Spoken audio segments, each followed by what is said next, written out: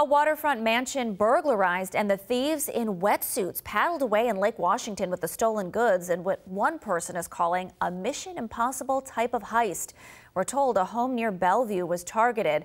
They went through Yarrow Point, which is off the coast of Kirkland. King 5's Drew Andre breaks down the unlikely crime. Well, just a very unique kind of burglary. Those suspects broke into a home along the waterfront in Yarrow Point, and police say that they paddled up and then broke in through the backyard. These are pictures released by the Clyde Hill Police Department, captured from surveillance video inside the home. The thieves are wearing wetsuits and have their faces covered with masks.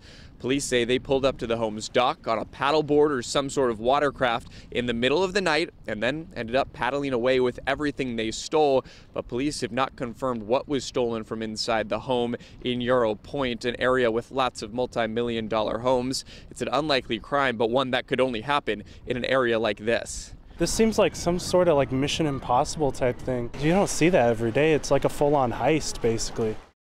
And this also acts as a good reminder if you see something suspicious, whether that's on land or on the water, to call 911. And if you recognize those people you saw in the photos, to call the Clyde Hill Police Department. I'm Drew Andre, King 5 News.